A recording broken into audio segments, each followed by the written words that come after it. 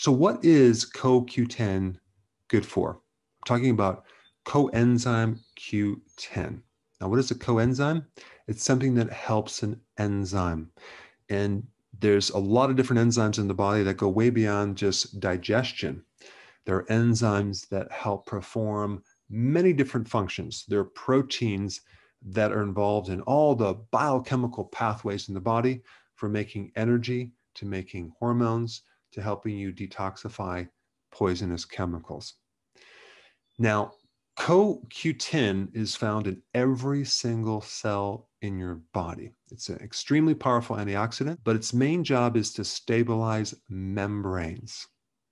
Membranes are outer coverings of certain things, like your cell membranes have this outer fat layer. Very, very important in holding the, um, the voltage of the cell because the cell is like a battery. Without that membrane, you wouldn't be able to hold the voltage. So it's it's a very key part of all cells. Also, the membrane around the mitochondria, which is energy factory, needs CoQ10 to help transport electrons through this process into ATP, which is the energy currency of the body.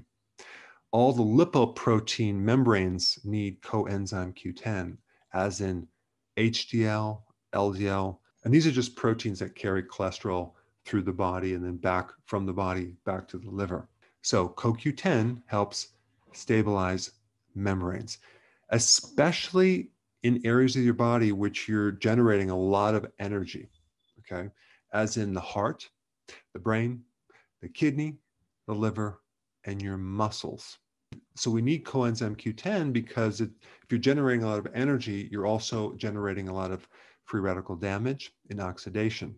So CoQ10 helps to counter that. Now, here's the thing when someone takes a statin, they completely block CoQ10.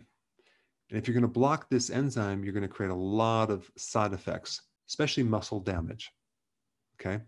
So if you're on a statin, you need to be taking CoQ10. Also, if you have any nutritional deficiencies, you're going to be deficient in CoQ10 because that sets you up for not creating CoQ10 in the first place.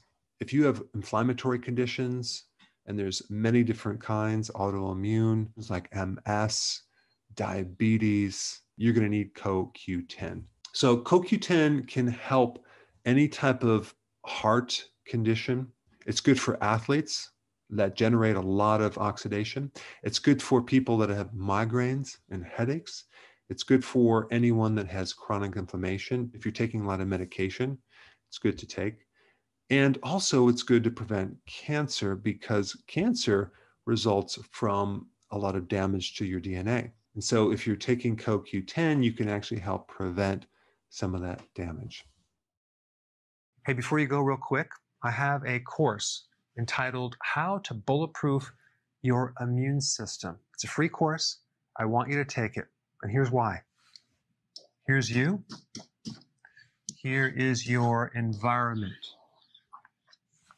Everyone is focused on this over here, avoiding your environment. But what about here? What about strengthening your immune system? That's what's missing. This course will show you how to bulletproof yourself. And so you can tolerate and resist your environment much better by strengthening your own immune system. I put a link down in the description right down below. Check it out and get signed up today.